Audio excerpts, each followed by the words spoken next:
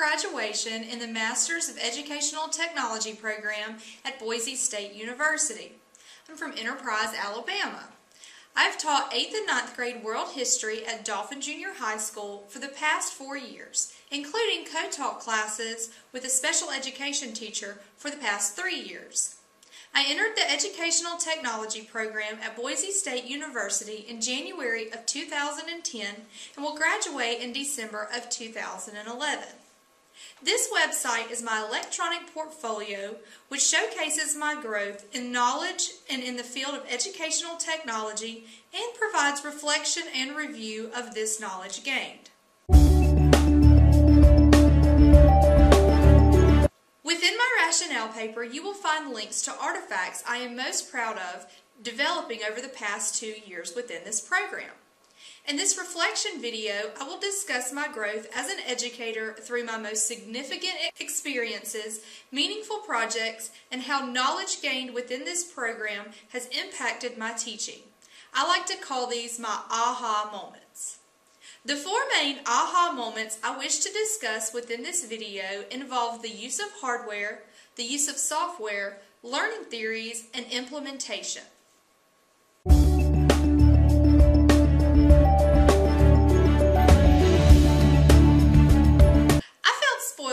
School just received a $125,000 technology grant this same month I began the master's program at Boise State University.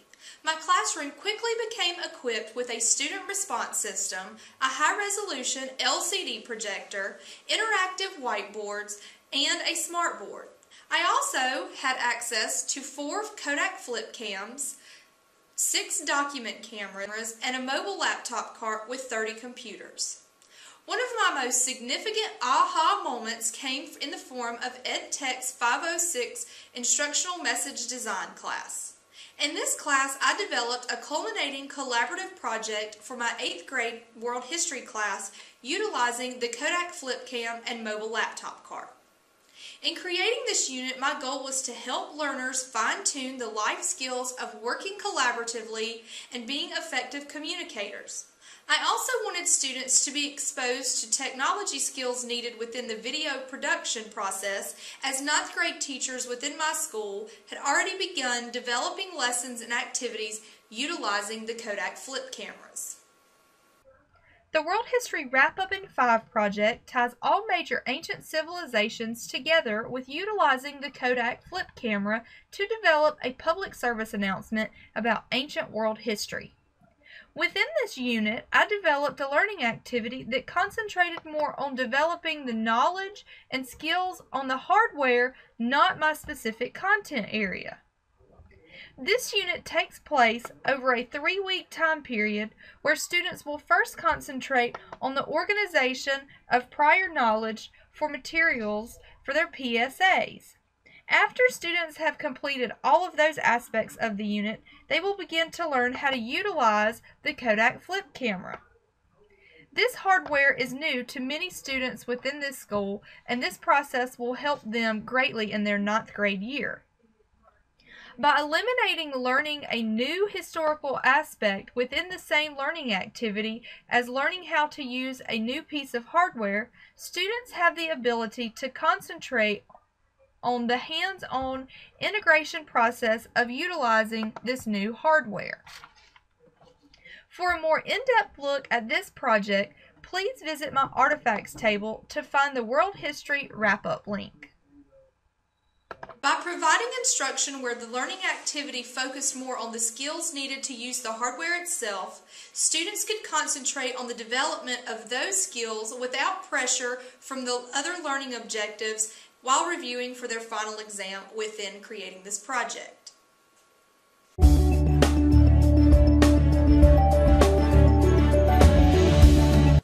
The arsenal of software I learned about through the Educational Technology Program has allowed me to design, de design and develop digital age learning experiences and facilitate and inspire students and teachers learning and creativity. My aha moment number two comes from the knowledge gained in developing a virtual field trip.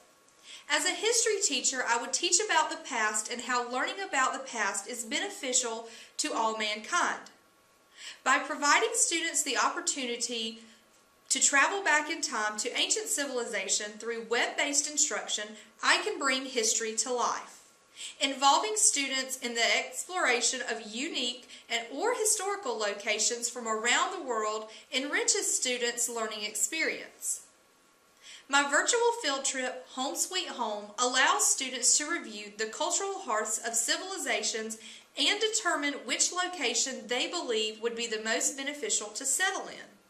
I utilized numerous softwares in the development of this website, including Adobe Dreamweaver, HTML code, and a pre-designed cascading style sheet. I helped develop the original lesson plan with Miss Carrie Henniger, my cooperating teacher, during my internship in 8th grade world history. We created static displays made of clay and printed packets of information from each civilization, carefully removing the names of each with correction fluid. This was a very time-consuming process, and with no place in the classroom to store the clay models, we had to throw them away after the activity, knowing this process would have to be done all over again if we intended to recreate this lesson next year. When creating this as an intern, I dreamed of turning this into a web-based instruction activity, but lacked the know-how. With the knowledge gained from Educational Technology 502, the Internet for Educators, I gained the knowledge needed to develop this into a virtual field trip. By changing this lesson into a web-based activity, students gained access to more resources and visuals to determine which site they deemed most suitable. Creating a way for students to travel back in time is one of the greatest assets a history teacher now has available thanks to virtual field trips such as Home Sweet Home. Taking an idea or a lesson that was almost too time consuming to recreate allows for the implementation with ease and provides for an interesting day in history classes traveling back in time. In the virtual field trip Home Sweet Home, students were able to view six cultural hearths to determine which location they believed would be most suitable to set up. Students then were to develop a slideshow explaining why they choose, chose this location.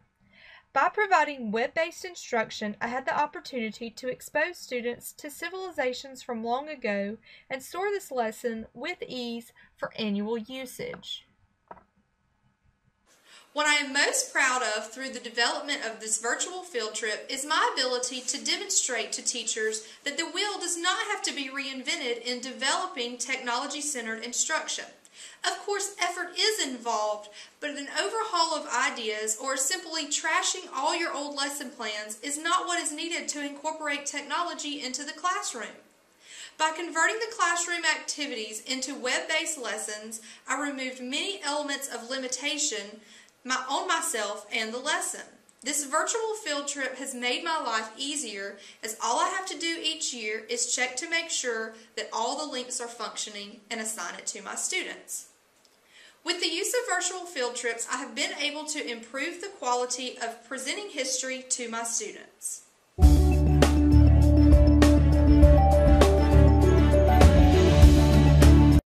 Gained about how people learn is another beneficial aspect to being in the Educational Technology program at Boise State University.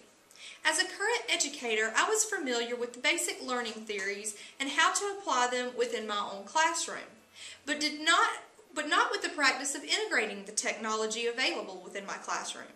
With Within EdTech 504, Theoretical Foundations of Educational Technology, I was able to research the engagement theory and how it could be used in a social science classroom. Research synthesis papers, such as the engagement theory applied in social science classrooms, showcases how dedicated I am to researching learning theories that directly relate to educational technology. With the technology possibilities available to me, I learned I should be creating individualized student-centered lessons. A statement made by Dr. Perkins the first week of EdTech 504 of most educators believe they focus on student-centered lessons, yet truly do not, kept coming back to haunt me as the type of lessons that I wanted to to utilize were not seeming to fit with the learning theories that I was researching. As I progressed throughout this course, I began researching the constructivist engagement theory. My I'm not one of those teachers that only thinks she's creating student-centered lessons views came back to haunt me. My rose-colored glasses of the types of lessons I believe to be constructed versus the reality of the types of learning that were taking place within my classroom had been removed. In order to become a better teacher, I realized that I must take the theories of learning more seriously and applying them into lessons. To maximize learning, I began utilizing these theories to their fullest potential, and by learning more about the cognitivist approach, I feel I am better equipped to truly develop these student centered lessons. My research synthesis paper on the engagement theory in social science classrooms involves a theory developed by Kearsley and Shneiderman. This allowed me to develop ideas about how to produce more engaging lessons within social science classrooms and help me in putting into action the type of educator I truly wish to be. You can find this paper on my artifacts table as I'm very proud of all the knowledge I gained about the engagement theory as it applies to social science classrooms. I researched many views from different people and learned a lot throughout this process. To improve my teaching and implementation of technology through the research process and apply that to develop my own argument and thesis was very beneficial in my own learning and instruction.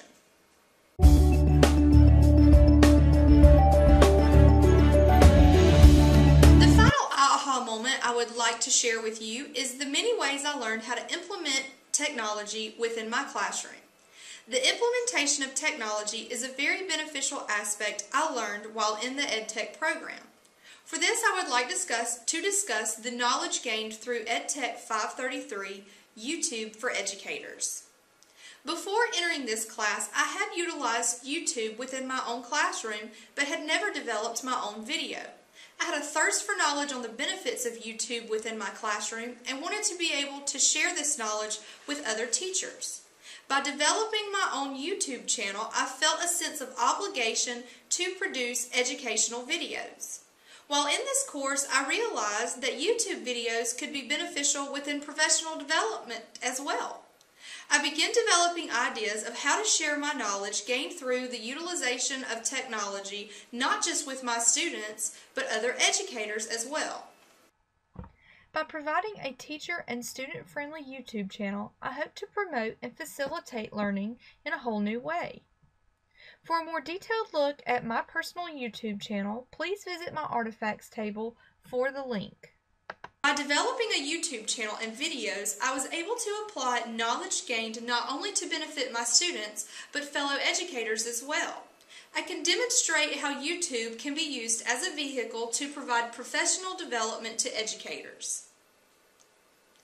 In conclusion, I hope you were able to see how beneficial I believe the Educational Technology Program at Boise State University has been to me. This program has forever changed my perception of educational technology and the benefits of its use within the learning environment. Educational technology must be integrated jointly in order for the ability to produce 21st century skills needed by today's learners. Educators must provide the opportunities for students to gain these through the usage of hardware, software, research and learning theories, and the implementation process in order to create productive members of society. Thank you for watching, and I hope that you enjoyed learning about my experiences within Boise State University's Educational Technology Program.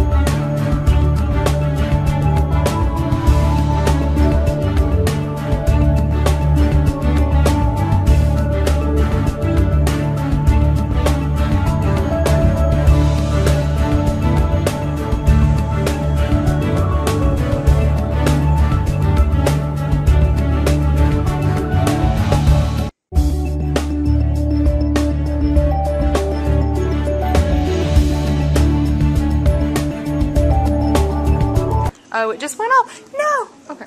All right. Cole, do you remember where Philip the second was from? What country? Can you tell me that? Can you show me? Spain. There we go. That's what I'm talking about.